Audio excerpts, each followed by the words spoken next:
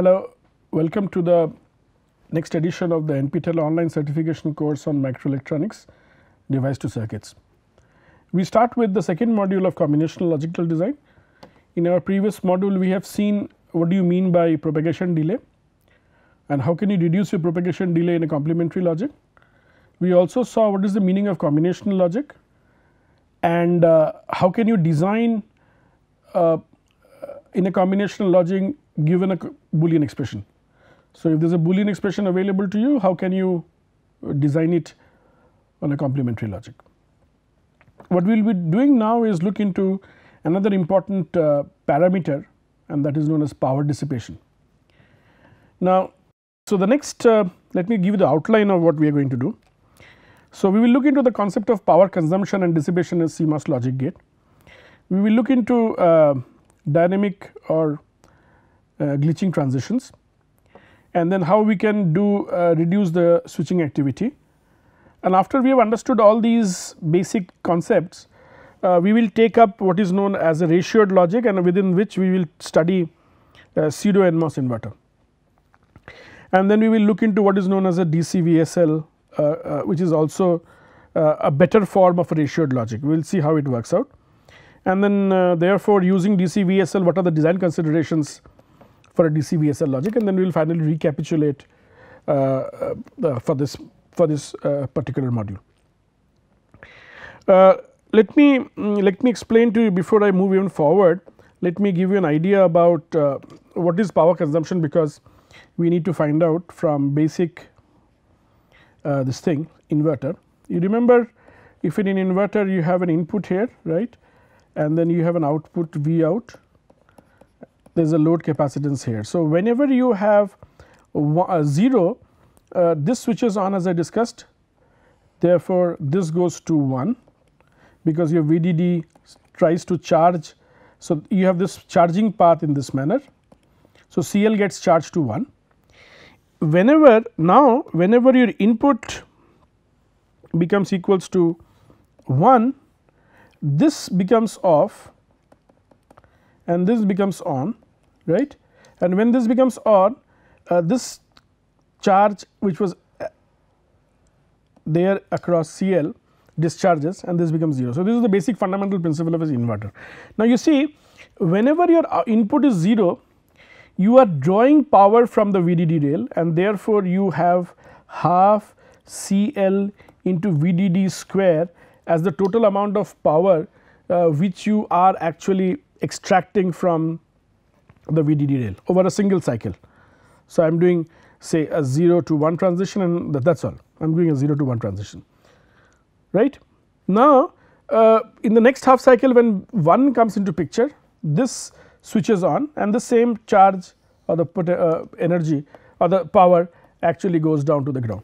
So, over a cycle of over a period of cycle or over a one period of cycle 0 to 1 transition you have actually utilized CL times VDD square half plus half because half you have taken and half you have you have done, but then total will be uh, total power dissipation will be still equals to half CL VDD square right. Now, with this knowledge or with this basic idea we can say that that the total power consumption over say one cycle of operation. So, 0 1 0 so this is one one cycle of operation we have 2 times 0 coming into picture. So, half plus half is equal to CL into VDD square right. So, over one period of cycle from this to this this is one period of cycle right say you are starting from here ending here you have got 0 0 and therefore, you get CL VDD square as the power consumed from the VDD rail. With this knowledge uh, what we do is we define another term known as dynamic power dissipation. It primarily means that that whenever the inverter is in operation mode, operation in the sense that whenever your input is varying from 0 to 1 and 1 to 0 and there is a large input bit train coming into picture and the output is also therefore varying from 0 to 1 and 1 to 0, we define this to be a dynamic operation. What is a static operation? Static means that when it is given 1 or 0 and output is latched to either 0 or 1 and you have fixed that operation, we define that to be a static operation. Then we define dynamic power dissipation as P equals P is the dynamic power dissipation is given as ha, ha, this this quantity where alpha is defined as the switching activity or switching parameter and CL VDD square we have already discussed the power multiplied by frequency you can understand why because in one cycle you are dissipating CL VDD square. So, if there are f such cycles available to you this will be the total power which you will be dissipating in f such cycles. So, that is the reason you multiply with f. An interesting comes term comes here which is 0 to 1 alpha 0 to 1 I will explain this to you in a, in a detailed fashion. Let us see let us say you have you have a clock uh, in this manner right you have a clock and there are 4 clock cycles which are there then uh, let us suppose my output goes something like this this is my clock or input let us suppose and this is my output. So, output I have got so I have got something and then at, at this rising edge of the clock I have a 0 to 1 transition. Similarly, at this rising edge of the clock I have a 0 to 1 transition. So, please understand uh, and, and, and, and at this edge for uh, at this rising edge of the clock I have 1 to 0 transition right. So, please understand 0 to 1 transitions are power consuming and power dissipating sort of cycles right. So, you see of the 4 clock cycles here 1, 2, 3, 4 there are 2 0 to 1 transitions. How many? 0, 0 to 1 how many number there are 2 number of 0 to 1 transitions which means that we define our activity factor as equals to 2 by 4 which is equals to 0 0.5. If there were 3 such cycles it will be 3 by 5 if there are 4 such cycle it will be 1 right and the 4 by 4 is equals to 1. So, activity factor is that. Now, activity factor as I discussed with you will have two components static component which is a function of the network topology as I, this is what I was talking about. Uh, that so, so depending upon is it NAND to NOR to logic or whatever logic you are using you will have fixed number of 0 to 1 transitions for certain number of input clock period that will determine your alpha 0 to 1 transitions. Now, dynamic component uh, which is the function of timing behavior of the circuits. So, dynamic behavior dynamic component uh, uh, it depends upon the uh, timing behaviors which means that uh, say your clock is there, but but but your uh, the input data train is there, but the input data train is not same for both the inputs. There is some delay between them. Then there will be some glitches which we will discuss later on above which also alpha remains, but primarily we will be looking into this first thing which is basically your static component right. Uh, we also define um, the, the, we also define uh, one important point that see as I discussed with you how do you how do you calculate that probability see the, the, the, the, the issue is that the probability or alpha going from 0 to 1 is defined as the probability that one state is 0 and another state is 1 of course you can understand why because uh, 0 to 1 means the initial state should be 0 and the final state should be equals to 1. So, if P 0 is the probability that the output will be in 0 state in one cycle and P 1 is the probability that the output will be in one state in the next cycle, then alpha 0 to 1 is also defined as P 0 into P 1 product of the two multiplication and therefore P 1 can be written as 1 minus P 0 because either you can have 0 or 1 therefore 1 minus P 0 is the effective value of alpha 0 to 1. Now, let me come to dynamic or glitching glitches. We will we will come back to this um, this uh, concept of uh, uh, alpha 0 to 1 later on. At this stage, you just have to keep in mind that this is a basically a, an activity factor whose value is between 0 and 1 right. 1 is the highest value and uh, which is basically a clock and it will go on decreasing depending upon the topology which you are using it. CL is the effective load which is visible to you at the end of the, uh, uh, the combinational logic block. VDD is the applied source voltage, uh, uh, voltage power supply and F is the frequency of operation. Let us let us look at this uh, concept of glitching and I will explain to you how does glitching affect your overall uh, delay. Now, these are NAND gates here. So, I have got 1, 2, 3, 4, 5 NAND gates and I am giving an input 0 to 1 at this particular point 0 to 1 so, if you look at the NAND gate it is typical uh, uh, um, truth table will look like like this right. So, suppose it is 1 right? And here input goes from 0 to 1 the input goes from 0 to 1 in the input side. So, initially when it is 1 0 1 0 output will be equals to 1 output will be equals to 1 and then when it goes to 1 this will glitch this will go back to 0 right, but this glitching takes place equally across the path. So, you see I have plotted here output voltage here the voltage at these particular points out 1 out 2 out 3 out 4 versus the time and this is my this is my uh, so this is my uh, input here right and this is this is my output here. So, whenever my input was low whenever input was low input was low means one of them is so, so whenever the input is low means either this or this the output is 1 1 and therefore, output is latched to a high value. Input goes high and your one of the other input was already high which I which which means that I am going from this state to this state. So, I am going from output 1 to output equals to 0, but the whole issue is this would have been true that all of the output will go to 0 together provided these did not have any intrinsic delay right. If they did not if eh, this if these did not have any delay then this going from 1 to 0 will imply that this will happen instantaneously as 0 to 1 transition is taking place in the input side. So, out 1 transition of 0 1 to 0 will take place instantaneously as 0 to 1 transition in the input side provided NAND 1 number 1 has got 0 delay, but this is not true. And therefore, this 1 to 0 or 0 will appear in the output side of 1 only after a finite delay which is equal to the delay of this NAND gate. So, let us see uh, how does it influence my output. So, you see the output 1 goes to 0 you see the output 1 goes to 0 this this curve is basically output equals to 1 goes to 0.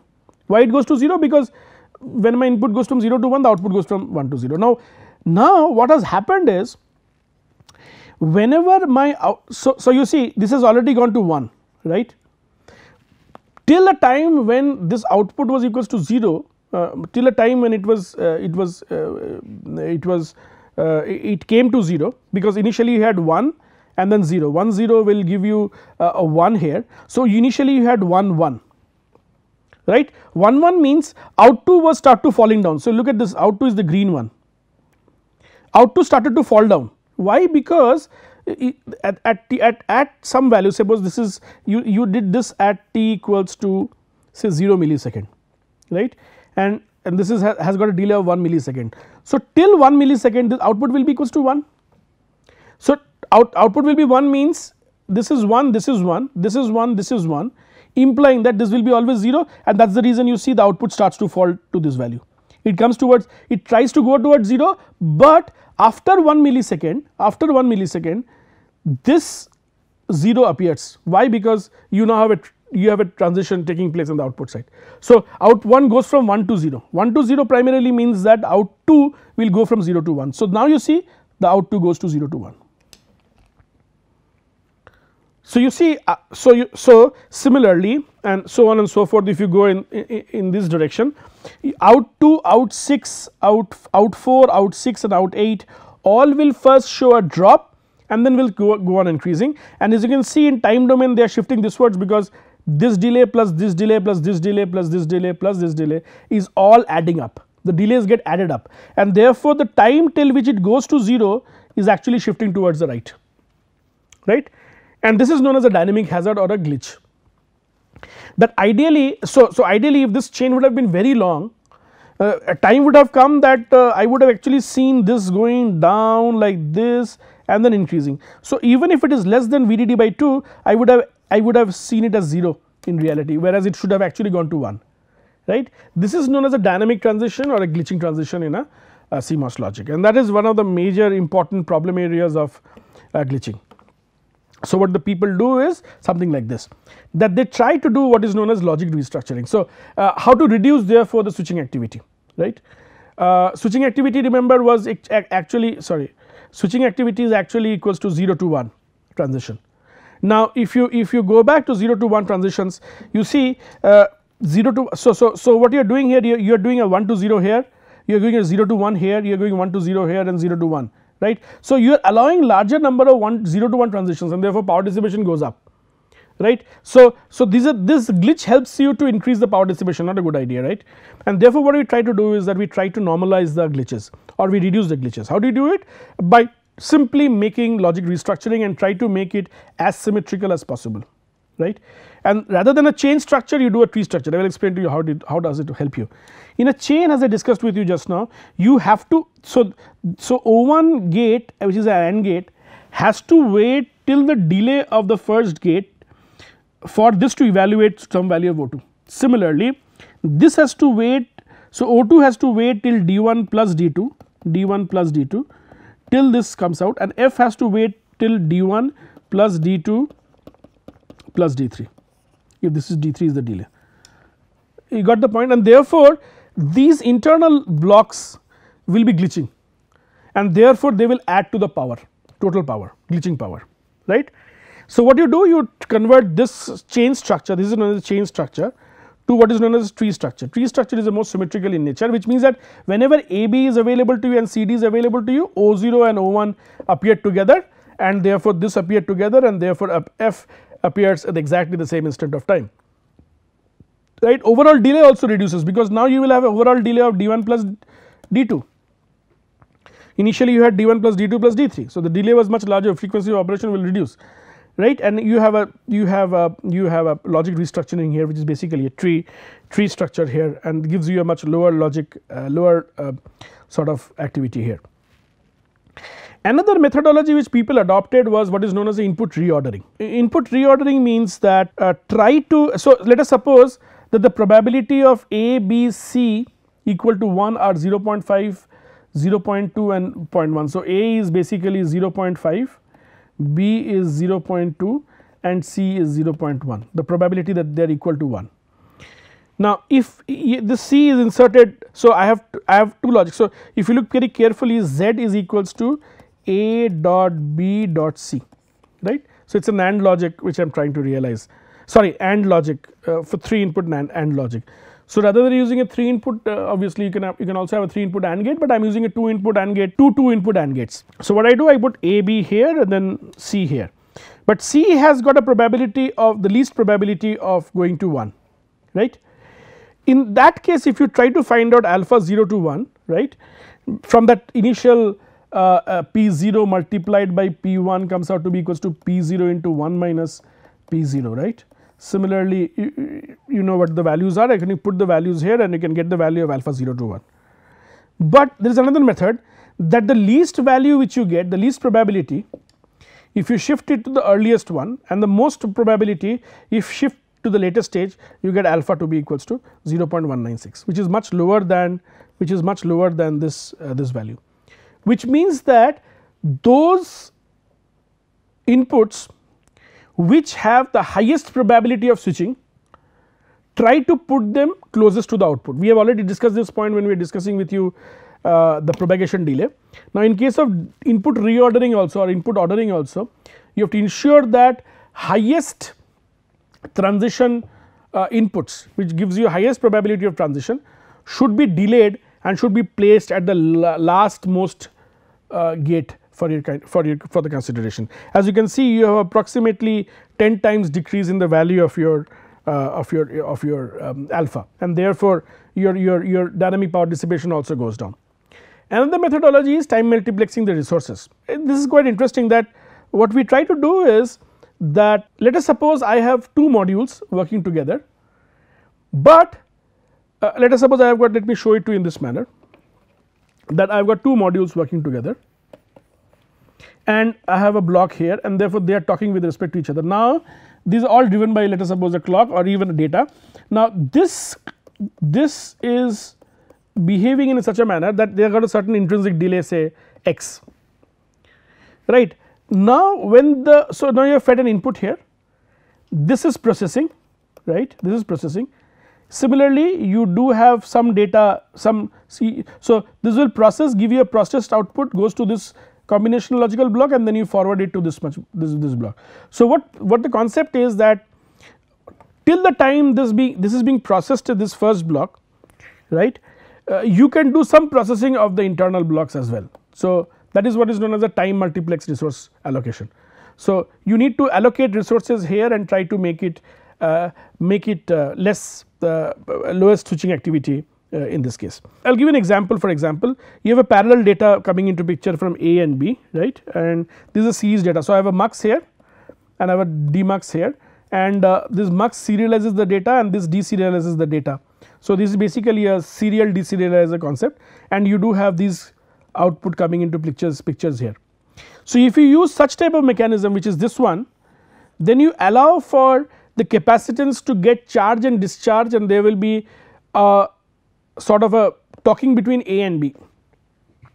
As a result there will be heavy glitches in this particular point whereas in this case you will have minimum glitch because there is only one line which is carrying the data from uh, this mux to this demux and therefore this will give you a much lower power dissipation as compared to the previous case. Uh, this takes care of approximately our understanding of uh, complementary logic to a larger extent and how the complementary logics can be used for a least delay and least power in a very in a very sort of uh, first hand application area. We come to another one uh, where it is ratioed logic and uh, ratioed logic primarily means that this logic has got uh, lower transistor count as the previous one as a considered CMOS. So, if you remember in a CMOS pure CMOS architecture you require for an n gate CMOS for an n input CMOS you require 2 n gates for a CMOS right. For a ratioed logic it is just n plus 1. So, if you are using a for example a 4 input 4 input nor, nor uh, maybe an AND gate or whatever gate then for a CMOS logic input you require 8 transistors whereas in this case you require just 5. So, the transistor count reduces the area reduces the cost you pay for it is higher power dissipation. So, they have got uh, extra power dissipation and we will explain to you why is it that.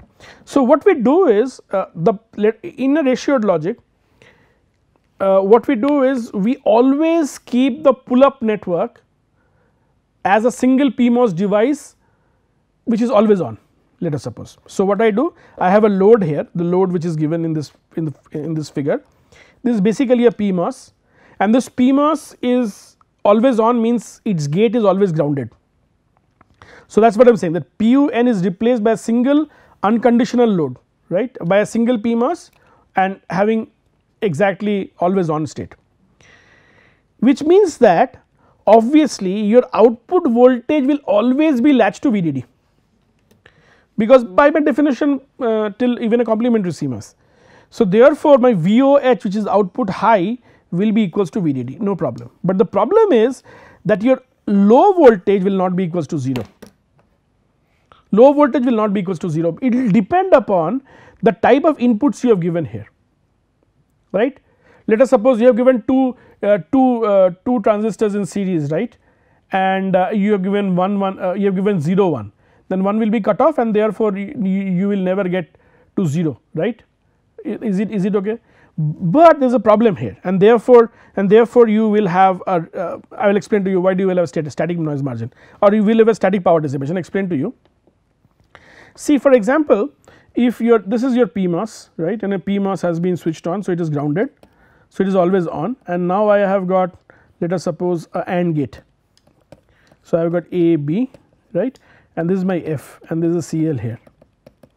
This is VDD and this is your VSS now, if A and B are both equals to 1 then this will be switched on, but when this is switched on you automatically have what?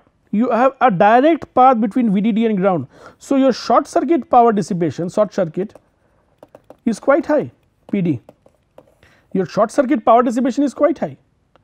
Why? Because now you have a direct path between VDD and VSS.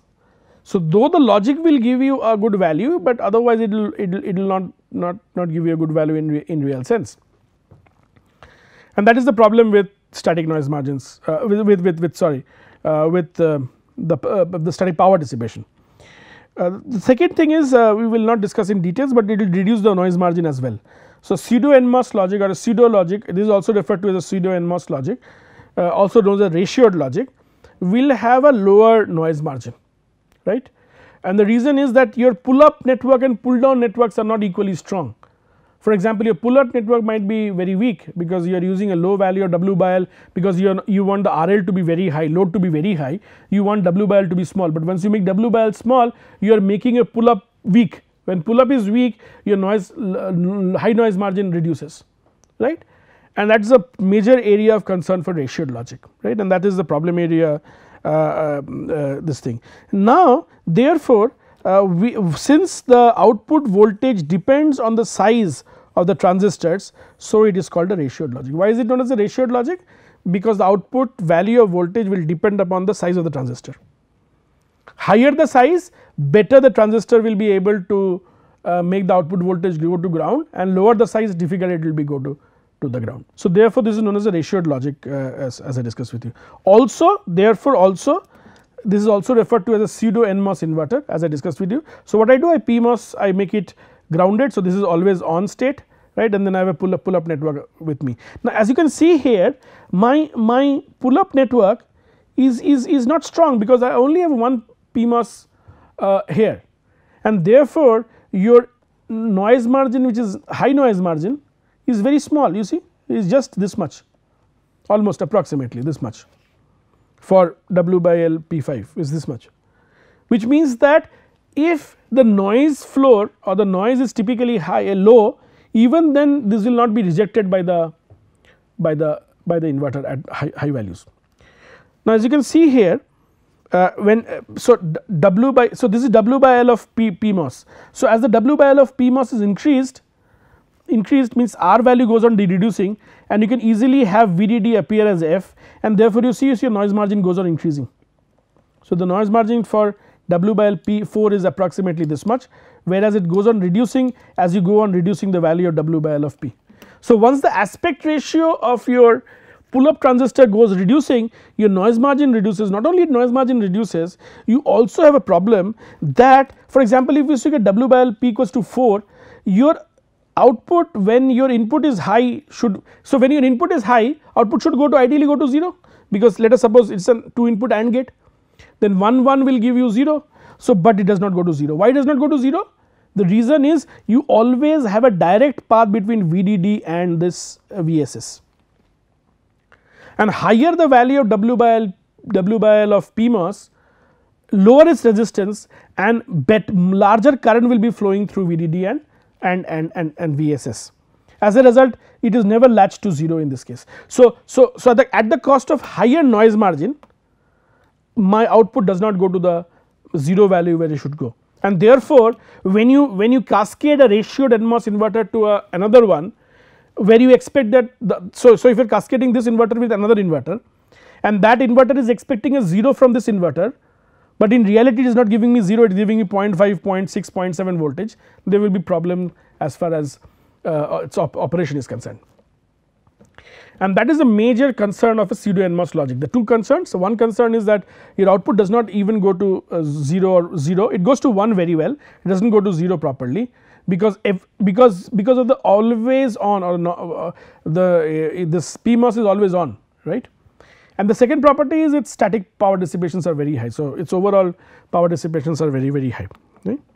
So, let me see how can you build a better load or maybe a good one and this is known as what is known as a differential cascoded voltage switch logic DCVSL differential cascoded voltage switch logic also known as DCVSL based on differential logic and positive feedback. So, what you do is very simple you have a PDN and you took a PDN 2 which is just complementary of PDN 1 and you apply both A and its so yeah so if you have two signals you apply you also apply its its its its uh, its complementary signal and what it does it it totally removes your static power dissipation and you automatically get a rail to rail swing right and I will show you how it works out. So you see this PMOS is connected out the output here is connected to the gate of PMOS M2 and out bar is connected to M1 gate here. Let us look at the functionality of a DCVSL XOR XNOR gate. Now you see in this case if A equals to 1 right B equals to 1 and therefore B bar will be equals to 0 in, in such a scenario uh, what I get is that uh, I have so so what I did so what I did was I, I just uh, so I, I, told you PDN should be complementary in the sense that if you apply A signal here you should apply A bar signal to PDN 2 if you apply B signal here you should apply B bar here. If it is B bar you apply B here right. So let us suppose A equals to 1 B equals to 1 B bar equals to 0 when A equals to 1 and B equals to 1 this out goes to 0 so out goes to 0 in this case A, A, A equals to 1 primarily meaning A bar equals to 0 0 means this cut off when this is cut off means this goes to high. So, this goes to 1. This goes to 1 primarily means that this PMOS is goes to off and this is on. Once this is on, so this transistor works with this module to give you an output here. So, out becomes equals to 0 and out bar equals to 1. So, so in a DC VSL logic I insert differential signals I also get differential signals back which is 0 and 1 here right. So, I input differential signals A and A bar B A A and B bar and I also get differential signals output out and out bar. This is what we get in DCVSL logic, but the idea here there is that there is no direct path between VDD and ground at any point of time which was there in a pseudo NMOS logic. In a pseudo NMOS logic uh, you did have a direct path from VDD to ground in this case you do not have any direct path. So, you do have a simple so, so you see when this is on right and when this is on you do not have a direct path. So, you see this is goes like this and this is the output which you see. So, so this is on right and this is this is switched on here this is switched on this is switched on and therefore this output goes to 0 and therefore it almost out as out bar equals to 1 and therefore this gives you a very very low static power dissipation right. So, DCVL so therefore DCVSL provides a differential output and its complement uh, and therefore it eliminates the use of extra transistors. So, you remember when we were using a ratioed logic or when we were using a standard CMOS complementary logic my output will always be uh, uh, complementary. Remember by virtue of the fact that it is an inverter. So, you have to put an extra static inverter to complement it back to uh, to its original form. So, I, I generally get f bar and therefore, when you pass it through a static inverter I get f bar of bar and therefore, I get f ones. So, I am using one more static inverter to achieve the uh, signal.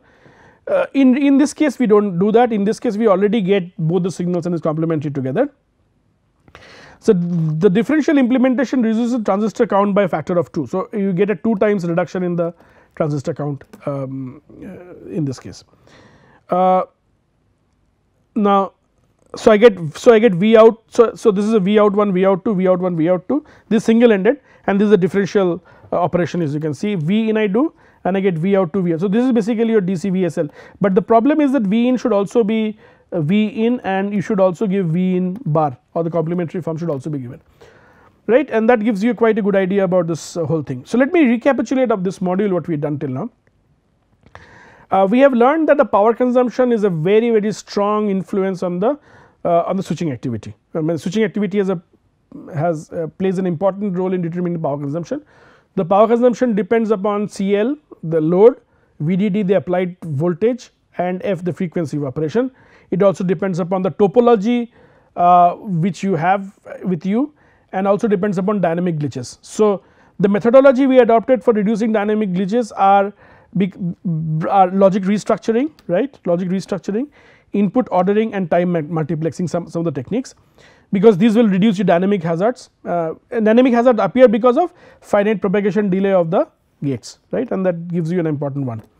To remove it people went for ratioed logic in which ratioed logic was, was, was, was what that you replace the uh, pull up network by a single PMOS device uh, which is normally on and you make it always on because you ground your ground the gate of the PMOS and then uh, you try to get the output. But the problem there was that you had two problems one was that you did not allow the output to go to fully to ground if your if your uh, your load was having a large W by L ratio. Uh, because now the load will try to pull up the voltage towards itself and therefore you will not allow it to go to ground and that is the major problem area and therefore you and there and, and therefore the second problem which came into picture was that the noise margins were reduced drastically especially the low noise margins were reduced drastically. High noise margin will depend upon the W by L ratios of the PMOS which you take. So, higher the W by L ratio larger will be the uh, uh, static noise margin in this case. Now, to reduce static power and to get a differential output we did DCVSL which is differential cascoded uh, logic right and in which case uh, you use a differential input you do a positive feedback and then you uh, you do you do uh, this thing. just to give you a brief insight well, the positive feedback helps you to do what I will tell you it tries to reduce the delay drastically. See when you have positive feedback uh, and suppose this is 0 and this is basically your 1 here this 1 so this 0 will try to switch on this device very fast right and therefore, the overall delay of a DC VSL is reduced drastically. So, since it is a positive feedback you do not have to wait till a particular time for the output to appear and therefore, suddenly when it goes to 0 because by application of A equal to B equals to 1 and B bar equals to 0 I automatically get a much lower profile here right. So, we have understood this uh, whole logic here uh, we have therefore taken care of ratioed logic DC VSL understood what is power dissipation we also know what is the propagation delay. So, by this end of this module uh, you as a deliverable you should be able to deliver the logic you should be able to design a logic in a in a much better manner using CMOS technology using pseudo uh, NMOS technology and using a, a DC VSL and please try to do it uh, uh, as, a, as a sort of a home assignment uh, once you go back. Good book to look into is basically there is a good book by digital integrated circuits by a designer's perspective by Chandrakasan, Rabaey and Nikolic. Uh, I will recommend that you please go through that book for at least the digital part. Analog part you will not get there, but the digital part of this whole course structure is very well defined in this in, in that case. Thank you. Thank you for your kind uh, patient hearing.